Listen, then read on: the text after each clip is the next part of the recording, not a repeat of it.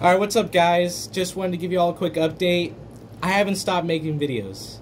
I know I haven't been posting in quite a bit, but I just, I've just decided to take some time to slow down, just to take a breather, have a vacation, to reflect on certain things, and of course I'll be making a video for you guys of what I did.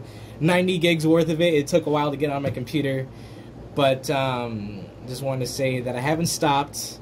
I'll continue to keep going. I have big plans for this channel and for its future, and I'm constantly thinking of new ideas for it. So I'll continue to be making videos, and I'm just just taking the time to just relax.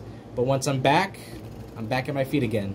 So I'll keep thinking of ideas. I'll keep posting and stuff like that. Not like every week. That's that's kind of unrealistic. But I try to go for like every two weeks. But um, yeah, so I'll keep you guys updated, or I guess I'll let you guys know when I've posted. And you guys have a good day, and you guys take care. And remember, be vigorously awesome, even though it's really hot. Gosh.